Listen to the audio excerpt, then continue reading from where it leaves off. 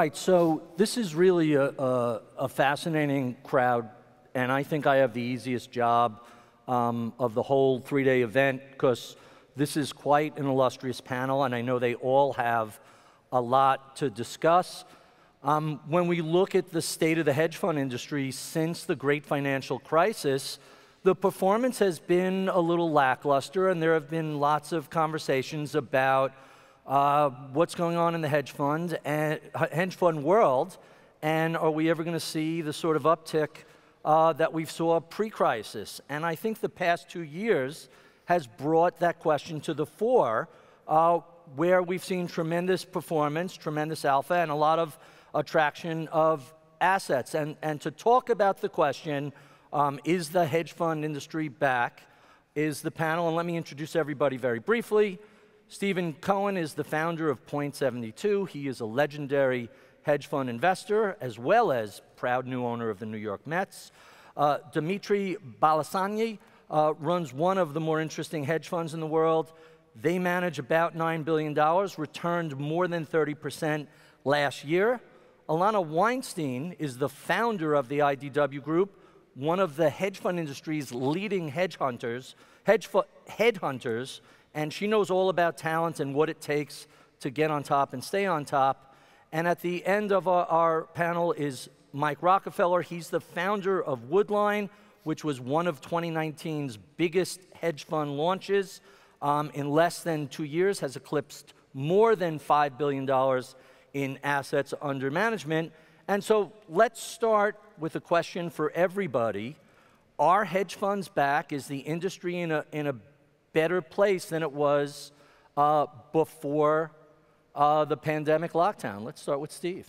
I mean, I don't know. Uh, have they ever left? I mean, you know, hedge funds have been around for a long time. I mean, there are ups and downs. And uh, listen, the markets obviously have been pretty good since March of last year. And, and um, um, you know, there's been a, there's been a lot of um, um interesting, um, you know, uh, there have been SPACs and there have been you know, new companies that have been IPO'd, and, and so there's a lot of stuff going on underneath the surface, a lot of rotations in the markets, and so lots of opportunities to create alpha.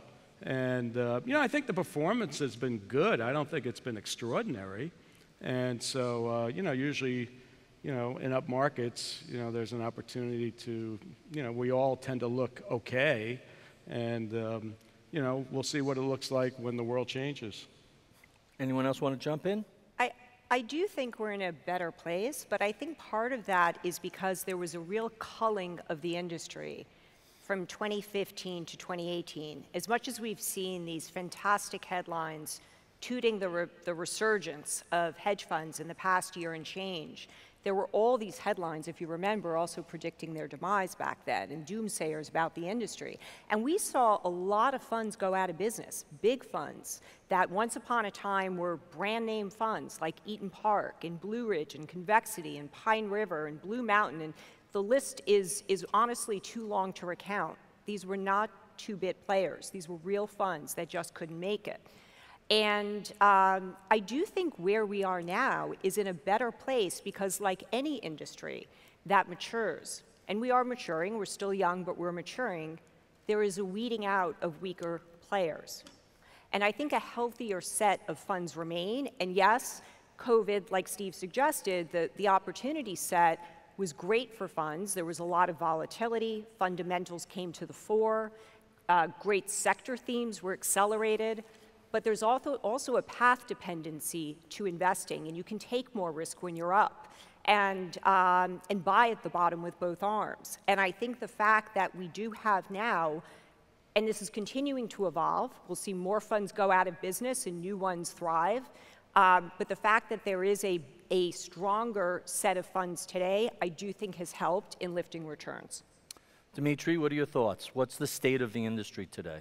Yeah, I, I, agree with that. I think it's I think it's stronger. Um, I, I, also agree. Like some capacity came out of the industry, which was helpful.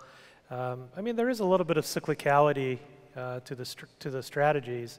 So if you look at just overall long-short returns uh, in equities from like 16, 17, 18, they weren't that great, right? So we got a little bit of a, a bounce back from that. Same thing with macro, had pretty slow period with very low volatility. We're getting a little bit of a bounce back from that. Um, and I think in general, hedge funds do well when there's um, some sort of significant change in the markets that then lead to uh, more durable uh, flows for some period of time, uh, which we definitely got last year. We've gotten kind of bits and pieces of that this year. Uh, so there's, you know, there's a decent amount to do. And Mike, you come from a very different perspective. Your fund launched much sooner than, much, much later than these gentlemen. You're 2019. You're West Coast based. Most of us are East Coast based. How do you see the, the world of, of hedge funds today? What does it look like from, from your perspective? You know, there's no question 2019 and 2020 were strong years for, for hedge funds and, and long short uh, equity funds. Um, but I'm going to give you a headline, Barry, that, that you haven't heard. And that is for equity long short, 2021 is shaping up to be one of the worst years for the industry. And so you say, how can that be? On an absolute basis, hedge funds and equity long short are up 8%. That, that is true. But from an alpha perspective, when you look at the prime broker data from Morgan Stanley and others, alpha generated is actually down 7%. So I think it's important to see, okay, where are those returns coming from? Is it driven by the major equity markets being up double digits, S&P almost 20%? Uh, is, is, there anything beyond what's going on uh, besides the beta and factors in the market? The data would suggest no. That being said, I, I'm optimistic for the industry. Those are averages, and there are funds that are generating alpha. And I think LPs are uh, as smart as ever in being able to understand what's driving returns. And so I think this will be a great year uh, when it's over uh, to see who's, who those funds actually are. So, so let's stay with that concept of alpha. And I have to ask the question why are so few funds persistently successful? Why does it seem that alpha is so fleeting and such a small group of outlier funds have consistently come up with a process for managing a business, generating above average returns, and doing so persistently over long periods of time for, for anyone who wants to jump on that? Well, listen, I think, um, I, th- I, think there are a number of reasons. You know, I mean, I think, I think um, you know, a lot of funds tend to be very focused on particular sectors, and they and sectors go in and out of favor.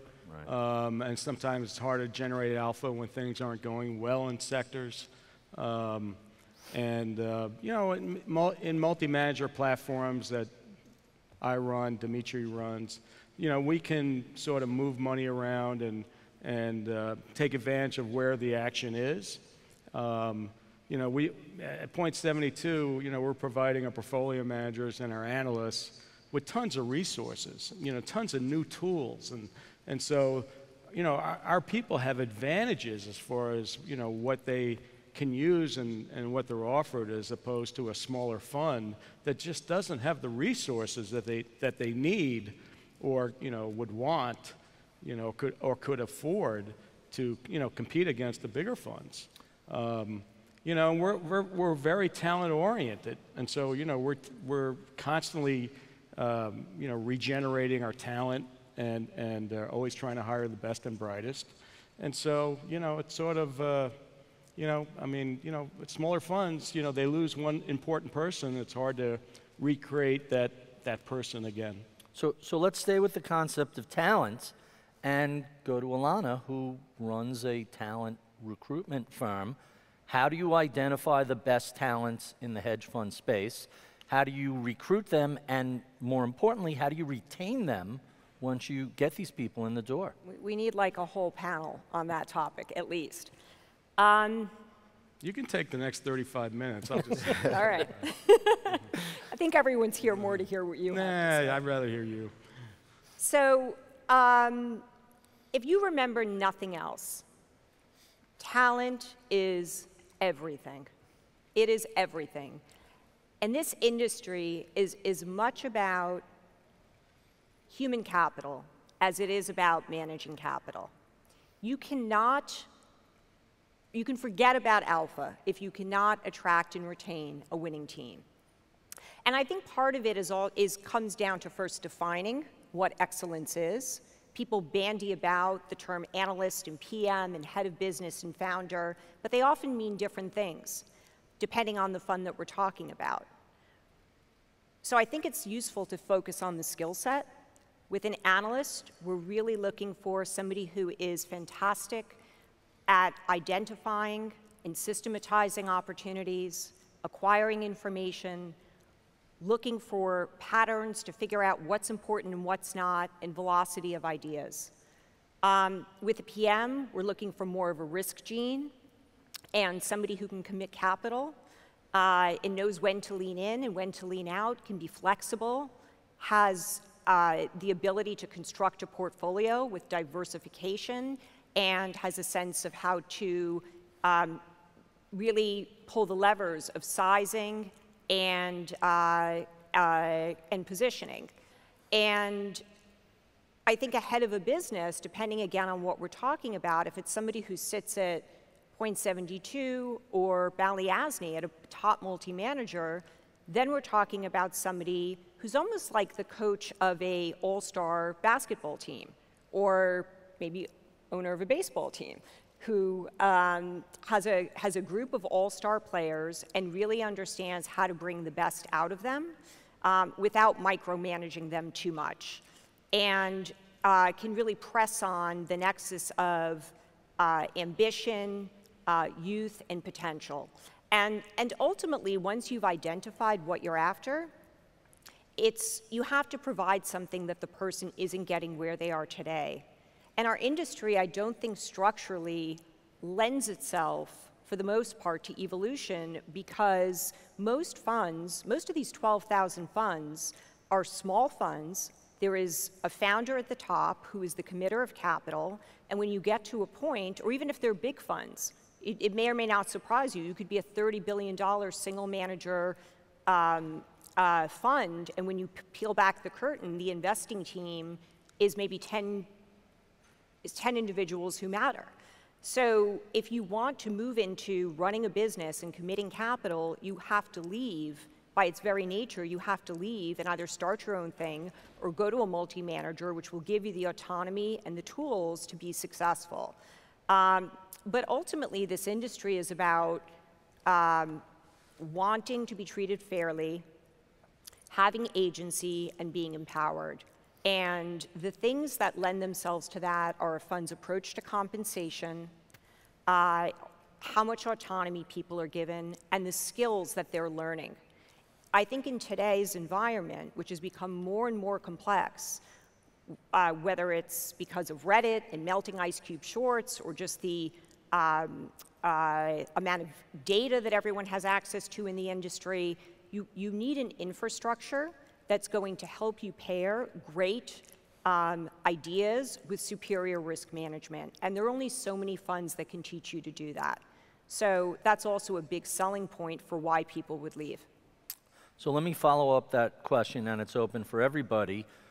If you have a, a, a repeatable process and you have a team in place that you have confidence, confidence in, do the changes in markets like Wall Street bets and Reddit and things like that, do they make any difference or can your team just adapt and adjust to whatever comes its way? Let, let's well, open up to anybody. I think it depends on what your, what your strategy is. Um, I think like the Reddit situation makes it tougher to run a concentrated portfolio, uh, particularly on the short side. And so if you have a, a, fund with a significant amount of AUM and a small number of, uh, relatively small number of short positions, like you really have to adapt your, your strategy. Uh, for diversified platforms, I don't really think it makes much of a, much of a difference. Um, you know, we have thousands and thousands of uh, short positions and, you know, pretty tight concentration limits, particularly on anything with high short interest. Um, but if, if I could also step, step back and just on your previous question of like why, uh, you know, there's so few firms that are persistently successful. I think in addition to resources, which I totally agree with, I, I think the, the basic issue is uh, markets are pretty efficient. And the amount of alpha spread that you can make consistently on an unlevered basis is pretty small, right? Like a good long short team, they can make you know three, four, five percent a year, like over five years, on GMV, uh, you know, unlevered. Pretty good, right? Like one year they might make 10, next year they might be at zero, but over time, if they're hitting four or five percent, that's pretty good, right? If you're neutralizing factors. So if you have a fund where you got you know a couple groups of these guys, like that's just not enough return. You really need to lever it. And in order to lever it, you need to have a lot of people. Otherwise, you have a lot of risk with a few positions or a few people getting cold. So now you're in a completely different business. Instead of just managing investments, you're managing a lot of people. And people management's not easy, right? No, wait. people are no problem. Yeah. If you, have, So, if you have people, you have problems. Just So- pure and simple. So, so are you better off with, with a, a smaller startup firm where it's the manager, a small team, and their portfolio? Do, do you feel like you have an advantage, Mike, against these guys because you're not managing 1,600 employees? I think certainly uh, being smaller is, is an advantage, uh, but um, I think scale is also an advantage. And in order to uh, attract and retain the talent, uh, you, you, need, you, you do need scale. Uh, because uh, if you think about what people want, and you know, there's a lot, there's a lot written on this. There's a book by Daniel Pink called Drive, and, and he, he talks about what motivates people. What, what, what, what do they really want? They, they need all of the tools and resources to be the best at what they do, and that's the scale part because you can't offer them that unless you have a, a larger firm. Uh, they want autonomy. They want, they want to be able to live and die by the decisions that, that they make. I think the multi manager, multi PM model lends itself to that. The last piece is kind of soft, but it's, uh, I believe in it 100%, is, is purpose. People want purpose. And, you know, there's a lot of money in this industry, and, you know, of course, uh, people want to make money, but we have real evidence at Woodline, and I think, you know, I've heard Ilana speak on this as well. Money isn't the only thing. At a certain point, people want more than that. They want partnership. They want to work with great people. They, they want, they're willing to sacrifice short-term compensation for long-term wealth creation. And so if you can offer that to, to people, those three elements, uh, I think those are what's going to drive retention and ultimately what we were talking about, you know, sustain, sustainable returns for, for LPs. It's really not about the number. I know you, you and I joke about this, whether it's about the number, but it's about the approach to compensation, which I alluded to earlier. It, people want to be treated fairly. They don't want to be netted. They don't want to feel they're fine not to get paid if they didn't perform. But if they did, they don't want their compensation going to subsidize the rest of the team that didn't do particularly well. And I think this goes back to your question before about why so few funds are persistently successful. Um,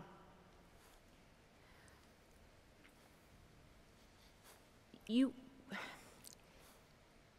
in recruiting talent, you can't be that transactional.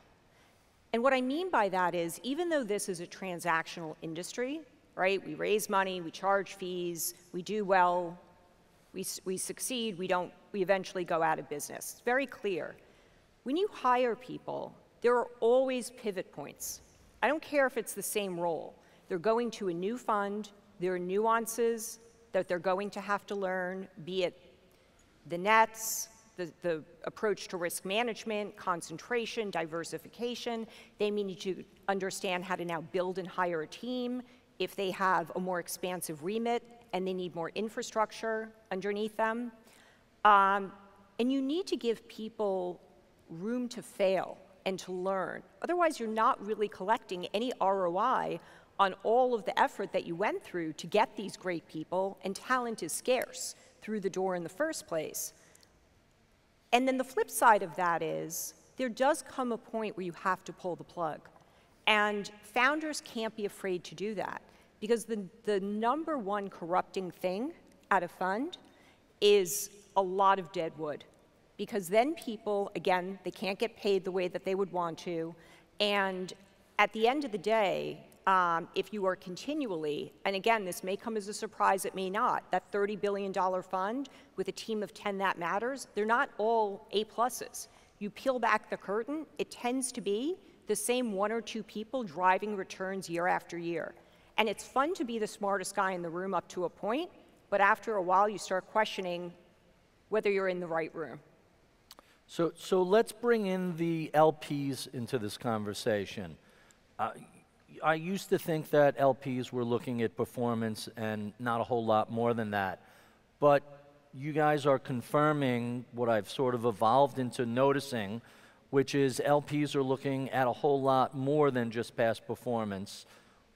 They're, they're looking for the ability to manage a team, they're looking for process. Tell us a little bit about how you perceive what limited partners look for when they interview a, a hedge fund as a possible investment.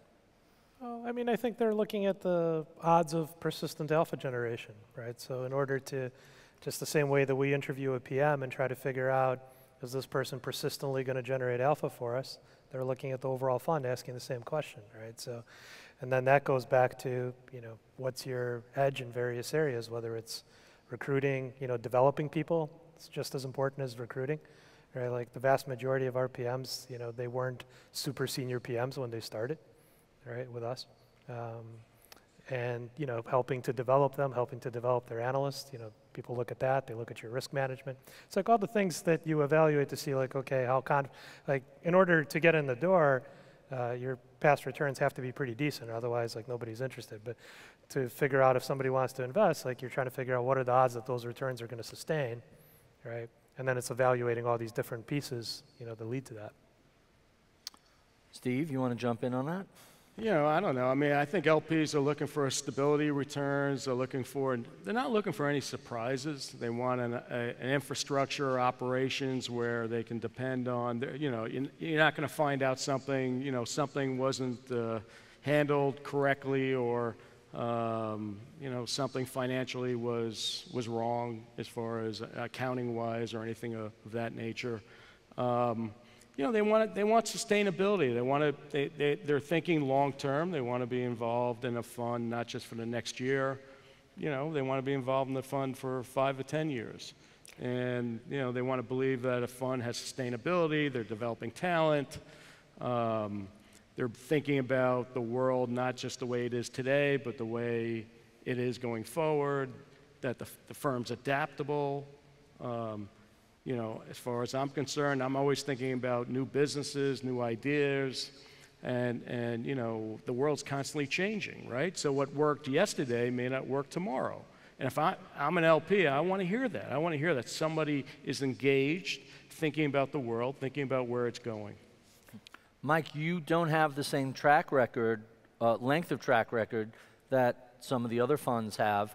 How do you deal with LPs and what they're looking for uh, as a relatively new fund? Is there any advantage to having uh, uh been around a little less?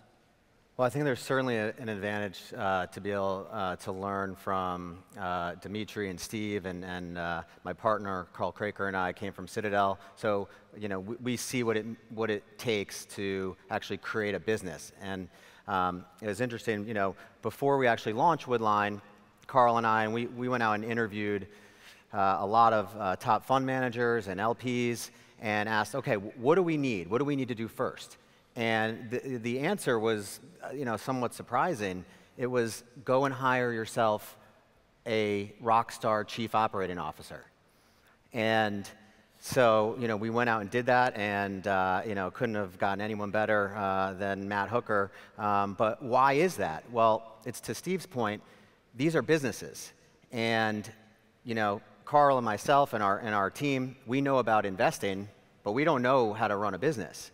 And the complexities in today's world of managing a hedge fund, you know, are, are pretty immense. You know, between the technology, the risk management, legal, compliance, cybersecurity is a, is a big issue. You, you need a fully built out operations team uh, to ensure that this business is going to be sustainable for a long period of time. And, and how did you deal with that during the pandemic and lockdown and work from home? I think that caught a lot of places um, unprepared. What was your experience like?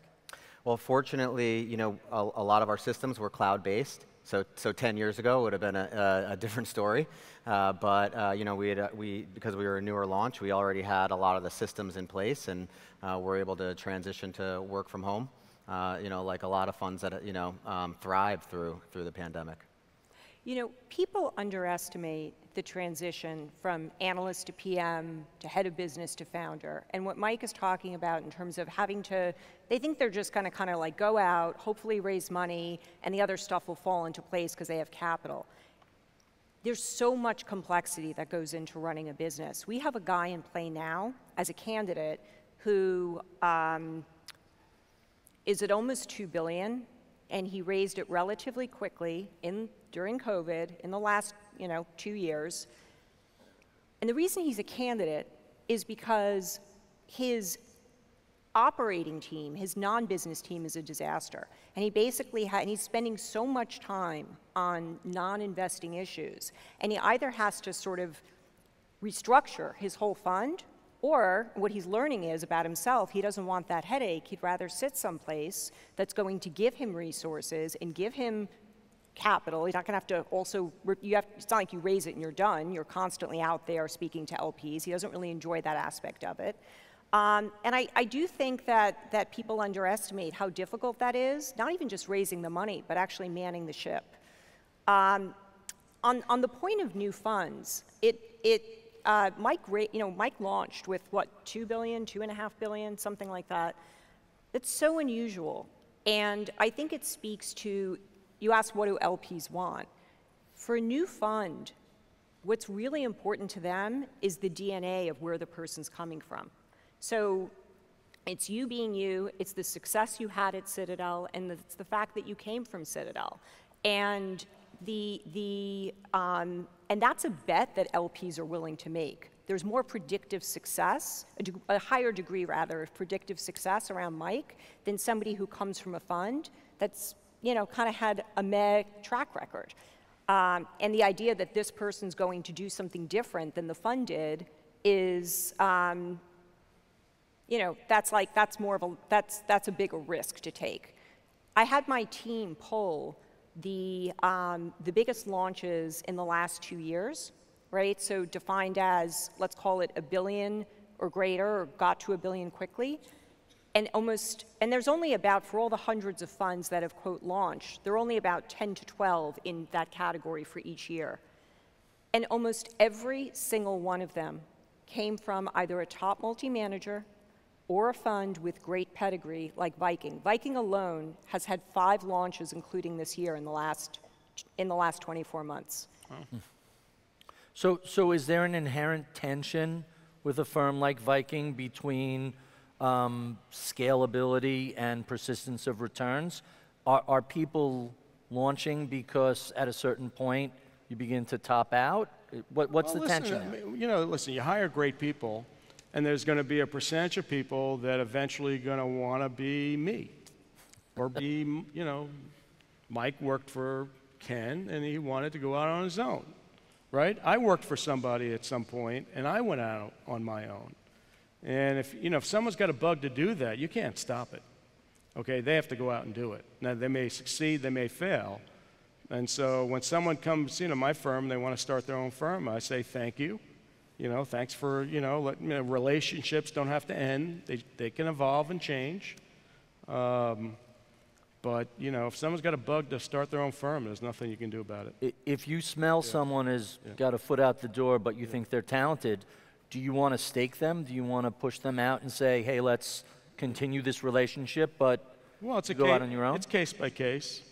Um, you know, one of the problems with staking people outside your firm is you really can't control what they do outside your firm, and sometimes they start doing things and you, you, they start drifting. Mm-hmm. And so um, it's possible I might do it, and it's possible I won't. Hmm. Interesting. Yeah, yeah. We, I want to shift gears a little bit because uh, time is tight.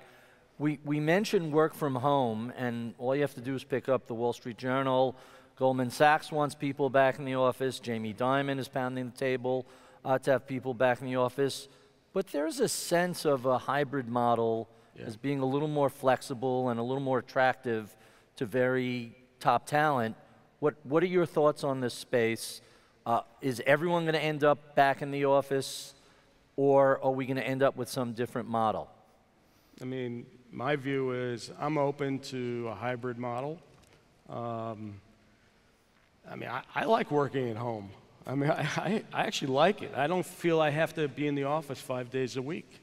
I can run my firm from wherever I am. I mean, Dmitry, you were in Jackson Hole. Yeah, I mean, I, it's like in Chicago, like thinking um, how many PMs we had in the office there. I think we have like three or four PMs in Chicago, you know, pre-COVID.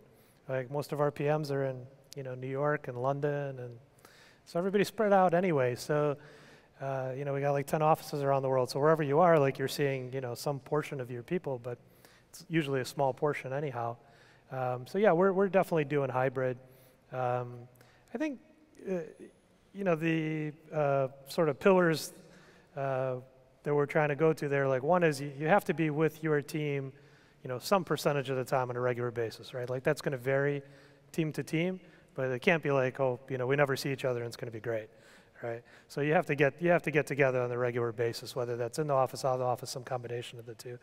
Um, and outside of your team, you have to like show up once in a, once in a while, even if it works well with your team. You have to show up in the office on a regular basis, whether it's you know whatever it is, two days a week or four days a week. It depends on the person, but you need that to, to just have some connectivity with people who you're not going to just normally talk to, because uh, you know you're not going to talk to the the guy if you know you're trading healthcare and the guy's trading industrials. You're not necessarily going to talk to him, but you run into him in the office, and it might be a very interesting conversation that leads to a thought you know you wouldn't have had, right? But D- Dmitry, the reality is we have offices all, Yeah, and you do exactly. too, everywhere. Like, okay, I'm in New York right, twice um, a month. right. I mean, I have hundreds of people there Right, that I don't see anyway, and they don't see me. Yeah. So you really, what you got to do is you got to set up communication, and there's so many different ways to com- communicate today.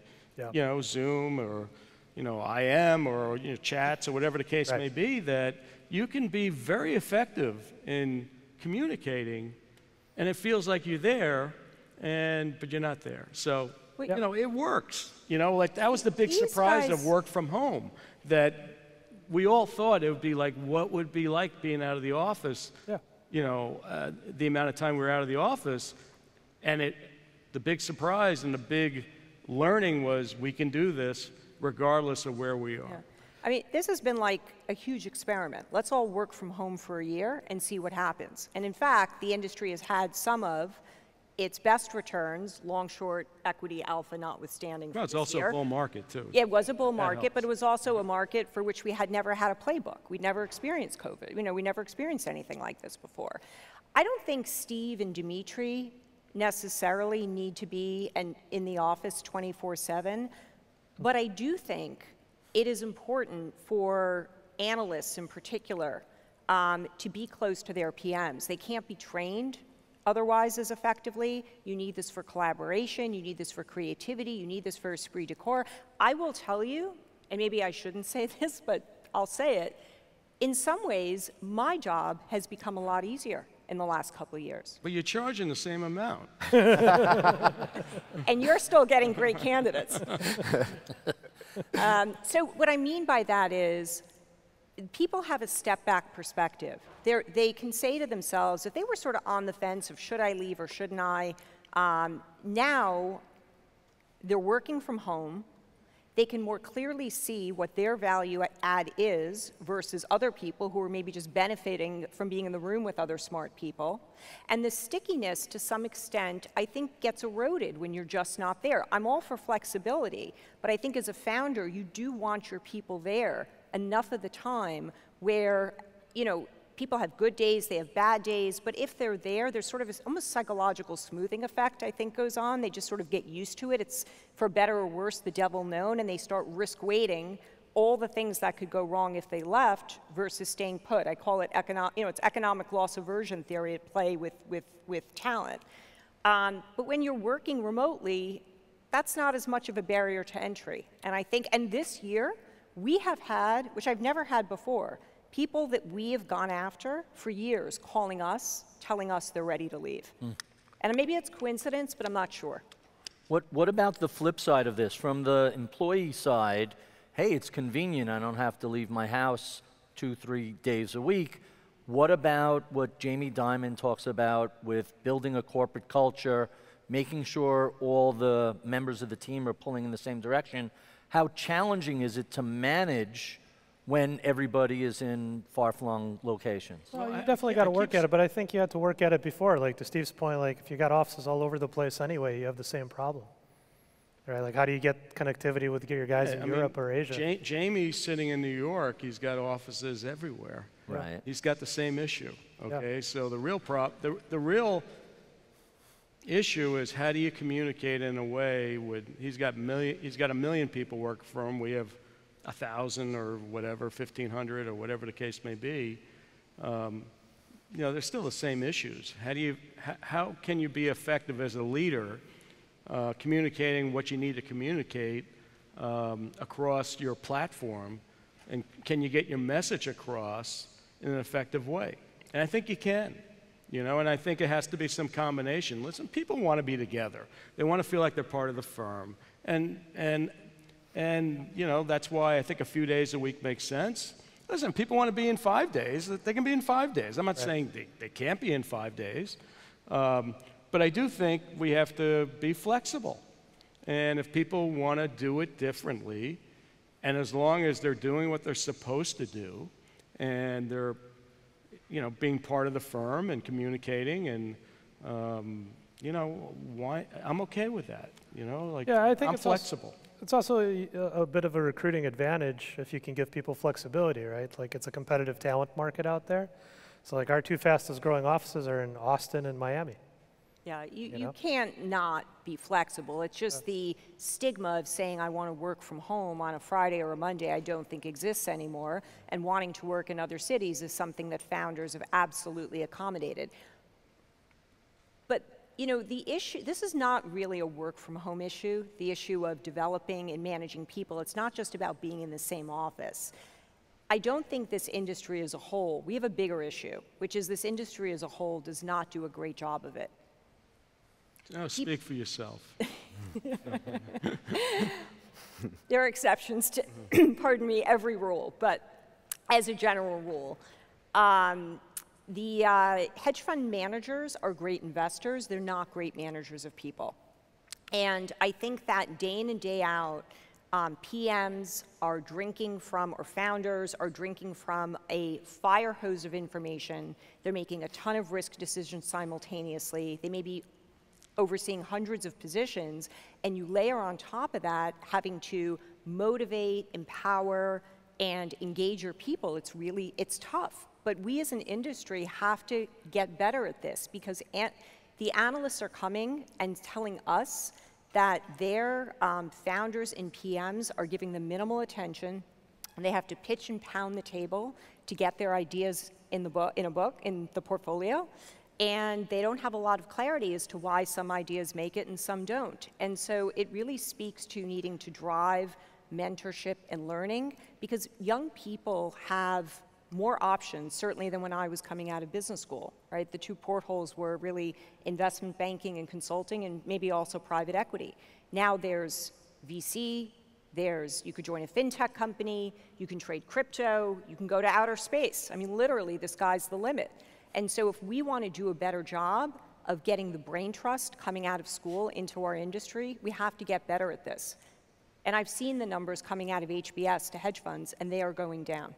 So let me stay with you, Ilana, on, on a question that you and I have talked about.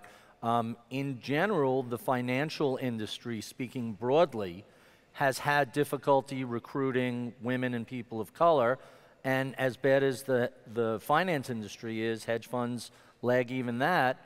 When you're talking about being a broad manager, how, how can the industry address that?